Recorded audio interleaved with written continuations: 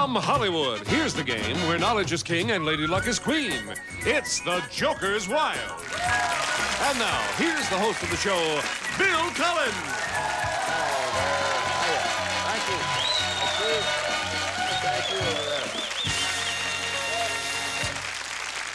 Thank you. Very much. Hello and welcome back to the Joker's Wild. Well, we are at the third day of the current week, and we've had some nice winning going on. And we had introduced two marvelous people who hadn't had a chance to play much of a game. So, because that's what it's all about, why don't we introduce them right now, Charlie?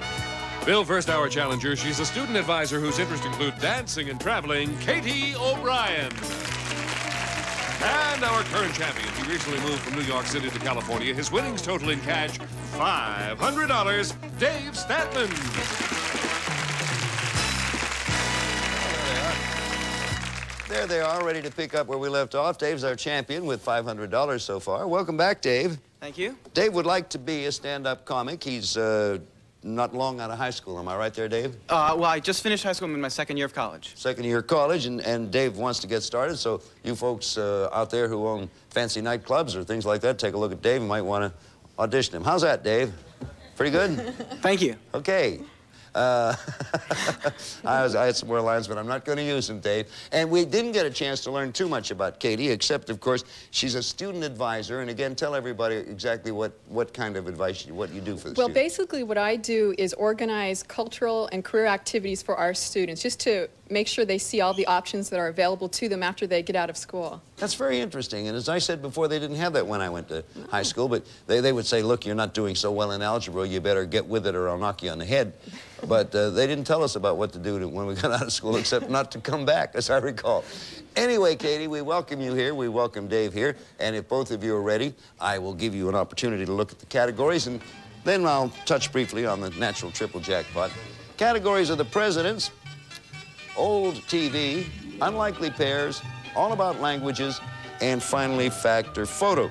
Uh, there you answer a question by uh, hearing a fact or seeing a photo. Natural triple jackpot, I promised you I'd mention. Uh, it was won just the other day. It was won by our champion, uh, who has since left, and it was worth 13,000 some hundred bucks, and that was a lovely win. We started a new one. We add something to it every day. We have golf clubs and grills and watches and things like that. It's now worth, either of you get three categories the same, $2,000. Okay? So, Katie, you're the challenger. You get first spin. Let's see what you can do. Okay, all right, jokers. Katie spins away and gets old TV, Joker, and all about languages. Oh, wow. Um, how about old TV for 100? All right, old TV for 100. On the old TV series titled It Takes a Thief, this handsome actor portrayed Alexander Mundy, a convicted cat burglar who was recruited by the government to be a spy. For $100, Katie, this actor is Robert who? Wagner. Sure is Robert Wagner, All right, Dave. Okay, let's see some jokers.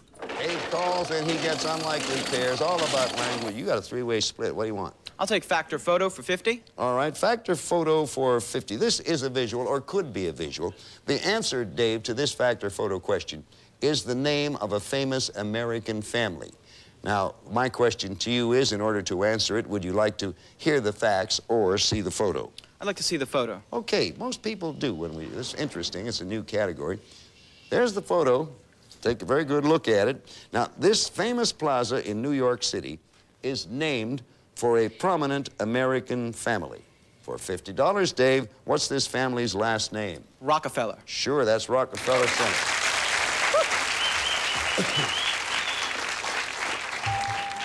As an added bit of interest, that statue is Prometheus, undressed. We'll be back here in just a moment. Right now, we have a word for you.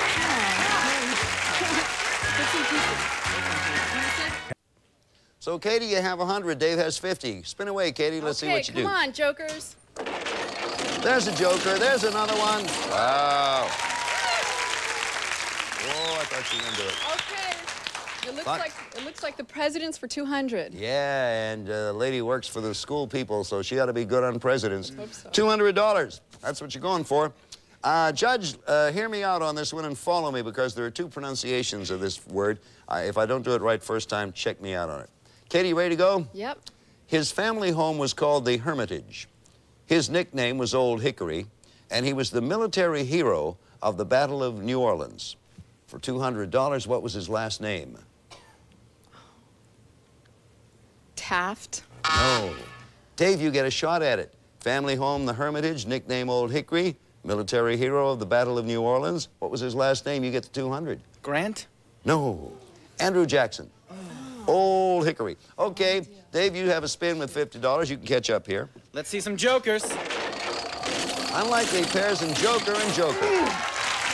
Now. Yeah. I'll take unlikely pairs for 200. Okay, now it's your shot at 200. Let's see what you do with it, Dave. A singer named Kate might have been an unlikely running mate for a presidential politician named Alfred. For $200, what's the last name they shared? I...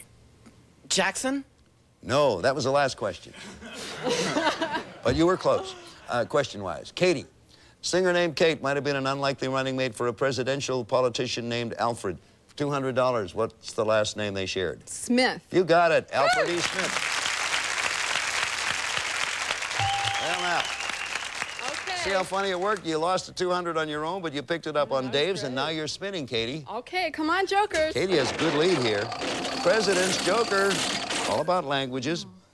I really don't like either of those. Uh, how about the presidents again for 100? All right. Get that out here.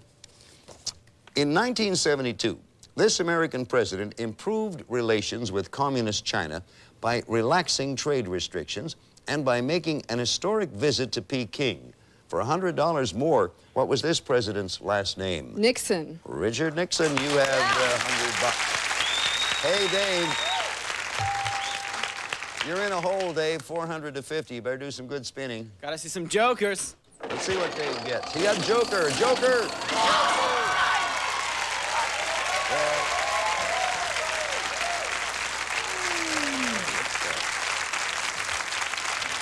When I said when I said you have to do some good spinning, I meant it. I didn't know you were going to spin that well, Dave. You know what it is. That's an automatic win. What you have to do to complete the automatic win part of it, choose any category you want. Pick, I will take a question, first one up in that category, answer it correctly, and you're champion again, and you have a thousand bucks. I'll take fact or photo for the win. Fact or photo. Okay, the answer for the game now, Dave, and a thousand dollars. The answer to this fact or photo question is the name of an historical figure. Do you want to hear the fact or see the photo? I'd like to see the photo. Okay. It's funny. I think that's always been chosen. Okay. Can you see the, see the photo? I'm out of your way. Look at the picture and tell me. This is a portrait of one of England's most famous monarchs. If you can name him, you retain the championship and your winnings total $1,000. Who was he? Henry VIII. You're still champion. You got the money. Congratulations.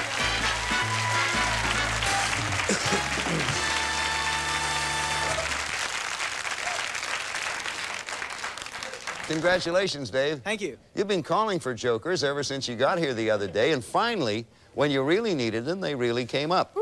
Well, Katie O'Brien, I'm awfully, I love your name, by the way. Uh, I'm awfully sorry to see you go. You played well. We have some nice consolation prizes. Thank you from all of Thank us at you. Jokers Wild. Thank you, Katie. Well, our, our friend David Stateman, who, if this keeps up, will no longer, is, it's Statman, isn't it? Yeah. David, I'm sorry, David. David Statman, who, if this keeps up, will no longer need to be a stand-up comedian. He'll be a rich club owner. We'll be over there in a moment to go against the devil, but right now we have this for you.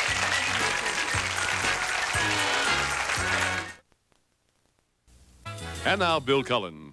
All right, Charlie, David Statman has a $1,000 in his two wins. Well, come on over, David. Another shot against the devil.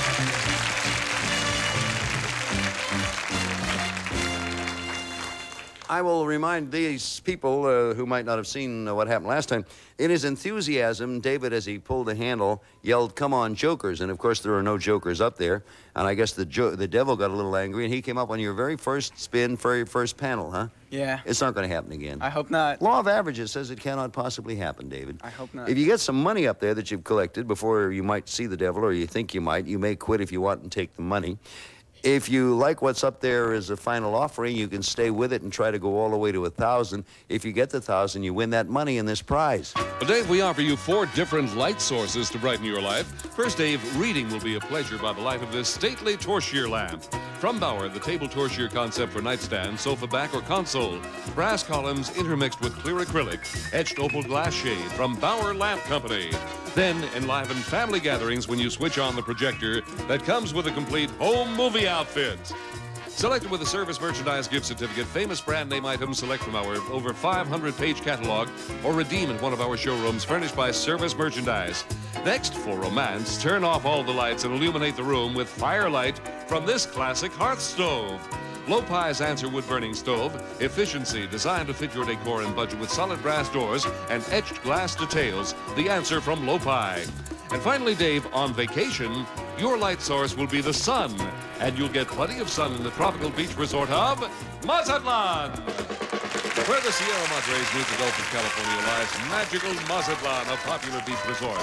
While there, you'll stay at the Holiday Inn Mazatlan, located on the beach, with elegant rooms featuring in-room movies. Enjoy dining and dancing, water sports, or relaxing under the sun. From Holiday Inn Mazatlan. This four light sources package is worth in cash and prizes over $3,650. Well, you see, the, the psychological thing about this, David, is you as you go along, and I assume you will get a few rolls in there before you see them, and collect money, then you have to begin to equate. You have to say, well, do I want to take the money, or is that trip to Mazatlan worth the big risk? You understand that? Mm-hmm. Okay, you know you can quit whenever you want. Yes. Y- are you here alone? Uh, I have a my best friend from New York is in the audience. Your best friend from New York? Uh, is, it a, is it a man or lady? It's a, it's a guy. It's a guy. Well, listen, uh, what the heck? Hi, good to see you. What's his name? Seth. Okay, Seth, you can root him on. Anytime you want, you can quit and take the money. Root for David, folks. Here he goes. Okay. Big money. That's better than the other thing. A hundred bucks, two fifty total, three hundred, three twenty-five. Go. We're gonna go. We're gonna go for it. Big money. Three fifty. Four and a quarter. Five. Is that five seventy-five? Let's see what comes up. Yeah, five seventy-five. I'm gonna go. I'm gonna go for it. Seth says go. Big money. He's going. Hundred. Hundred. Automatic win. Good one. Right there.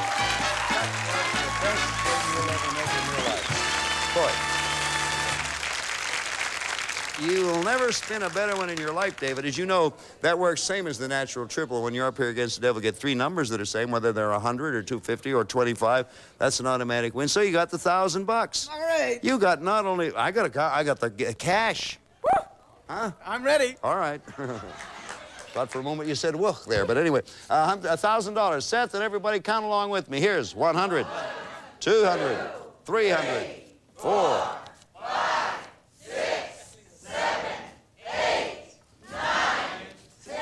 1,000 bucks. Plus, plus the lamp, more furniture, the gift certificate, the wood stove, more furniture, and the trip to Mazatlan. Total, 4,650 bucks. And we'll be back right now. We have this for you.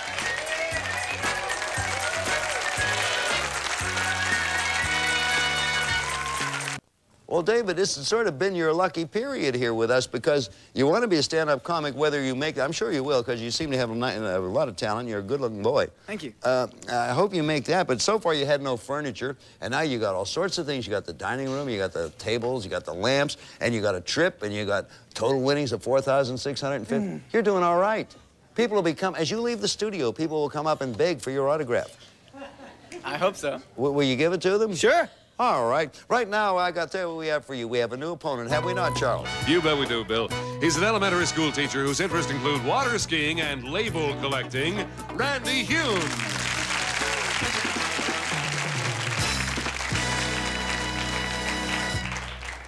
Hello, Randy. Hi, Bill. I, uh, uh, label collecting is not a common hobby. I, I had an uncommon hobby once, too. I won't talk about that now, but tell us about your label collection.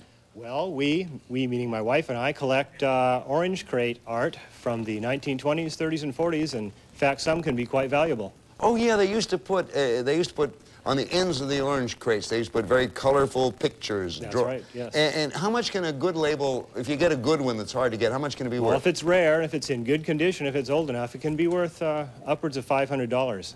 No kidding. And where do you find these labels? I mean, go on to. You don't find them around too much anymore. You used to be able to find them at swap meets and flea markets and things like that. and now that. I guess you trade other with- exactly, with other Pe- collectors. That sounds like a very interesting collection, a very interesting hobby. How many labels do you have? A couple of hundred, I'd say. That's pretty good. It's a Pretty good. modest collection, but growing. Hang on to them. You're going to have some rare ones in there. Some, I'll tell you what I collect, categories. I collect categories by the gross. For instance, here's my latest collection. Quotations, comic strips, American states, what's my name, and finally, fast forward movies. Fast forward's good uh, catch-up question. Actually, some of these can be worth a lot more than 250 bucks, depending on how you play them. So, you ready to go, Randy? I reckon I am. All right. Randy reckons, so he's going to spin. Calling all jokers. Let's see what you get. Hey, there's one. Quotations and a comic strip, but you got a joker there. Let's try comic strips for $100. All right. Cartoonist Paul Terry created this comic strip, Randy, in 1945. It was a parody of a salesman and featured me, a Bill. mouse. I beg pardon? It's a parody of Superman. Oh, I'm sorry. I'm sorry, Judge. I'll, I'll start all over for you again, Randy. Cartoonist Paul Terry created this comic strip in 1945. It was a parody of Superman, which I misread, and featured a mouse with extraordinary powers. What was the name, Randy, for a hundred bucks, of that potent rodent? Sounds like Mighty Mouse. It is Mighty Mouse. I'm glad the judge corrected me. You might never have gotten that answer the way I read it. Dave, let's see if you can catch up. Let's see some jokers. Another Joker call. You got comic strips, comic strips. Quotations. I'll take comic strips for 200. Uh, no. 100. 100, that's right. The comic strip character named Archie had a wide variety of high school buddies, including a goofy character who wore a crown-shaped hat and loved to eat hamburgers. For $100, name Archie's peculiar pal. Jughead. Jughead is the right answer. Jughead Jones. Randy, spin. Here we go. Jokers, please. Quotation, what's my name, and a joker to do with as you will. Let's try What's My Name for $100. Okay, I, I, many people say, uh, and I'm doing a quote, I'm doing this in the first person. Many people say I'm bananas, but it's just not true. For proof, just go to Manhattan and ask my friends Zelig, Broadway Danny Rose, and Annie Hall. What's my last name? It sounds like Allen. It is Woody Allen, and you have another $100. David, spin if you would. Let's see, let's see some jokers. Here's Dave spin. Fast forward, fast forward in American states. Oh, boy, what do you want to do? I'll take fast forward movies for 100. In fast forward movies, you answer as many questions as you wish. Each one, David pays the amount of the spin. If you miss an answer, you lose all the money you've won up to that point. So here you go, first question for $100. The films The Odd Couple, The Fortune Cookie, and The Front Page team two of Hollywood's most endearing stars. One was Jack Lemmon. What was the last name of his partner in film? Matthau. Walter Matthau. You have one. Do you want to go on? Yes, I do.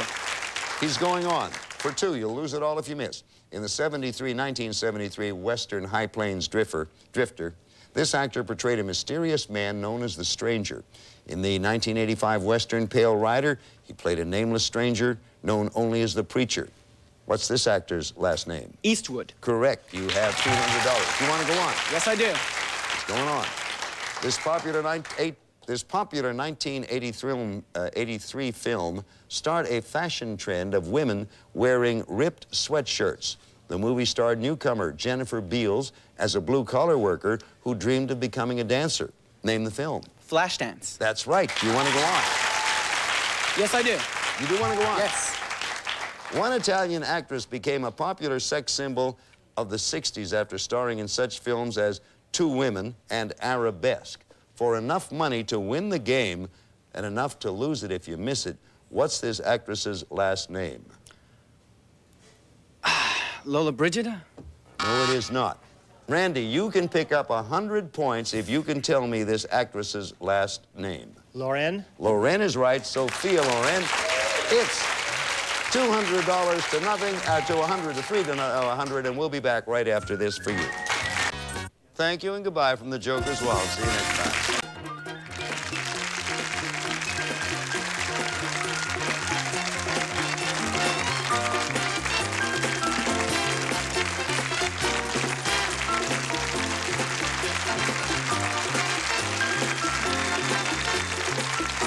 The Joker's Wild is a Jack Barry and Dan Enright production.